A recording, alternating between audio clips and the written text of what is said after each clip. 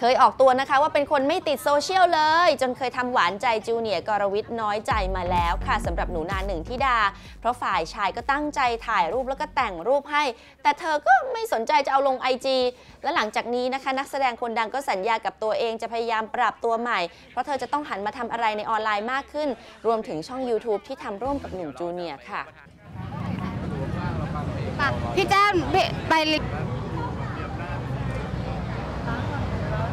เป็นคล้ายๆ vlog นะคะ เป็นไลฟ์สไตล์ มีทั้งไปเที่ยว ไปดูเสื้อผ้า ไปอะไรด้วย แล้วเราก็จะเป็นแขกรับเชิญได้ไปแจมไปนั้นบ่อยๆอะไรอย่างเงี้ยค่ะ คือเรียกว่าเหมือนแบบว่าช่องนี้คือจะมีเรามาด้วยตลอดนะ มาแจมมาแจมบ่อยๆ ค่ะ แต่ส่วนใหญ่ก็จะมีเขาเป็น main หลักอยู่แล้วค่ะ EP 2คือหลายคนเรียกเริ่มเรียกร้องหาแล้ว สำหรับช่องของตัวเองสำหรับ EP 2จะจะพยายามรีบทำออกมาให้ได้ไวที่สุดนะคะยังไงก็ฝากติดตามชมกันด้วยค่ะ ค่อยๆ ปรับตัวเองค่ะ ต้องอย่างที่บอกว่าต้องเริ่มมาทำอะไรเกี่ยวกับโซเชียลเยอะขึ้นด้วยค่ะ